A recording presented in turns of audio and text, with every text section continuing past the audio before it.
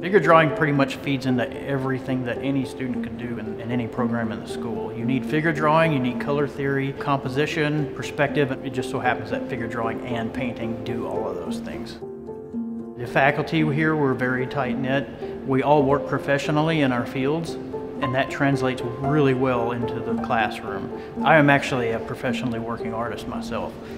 I'm a portrait painter, a landscape painter, an illustrator.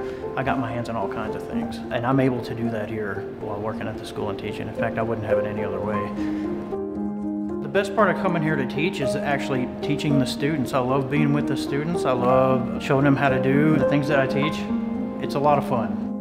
This is the first brand new art building I've ever had the privilege to work in. The painting area in this building has serious advantages to students because it is built for artists. The lighting here is adjustable. I've never seen that in a brand new art building before. All our windows in here are north facing and each room is vented individually to prevent any fumes or anything like that. So it's completely safe uh, and there's plenty of room. If a student were to go into graphic design, painting, drawing in general, you'll use everything that we teach in figure drawing and painting. How to handle paint, how to apply paint, the chemistry of the whole process. They all feed into each other.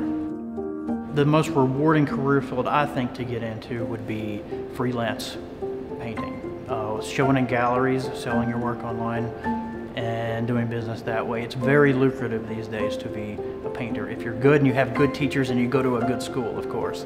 Little Rock actually has a pretty hopping art scene in downtown. You know, I show at galleries downtown here and uh, students do as well. The university actually has a gallery they show downtown and uh, the school is heavily involved with that. It adds to the spirit and liveliness and feeds artistic growth.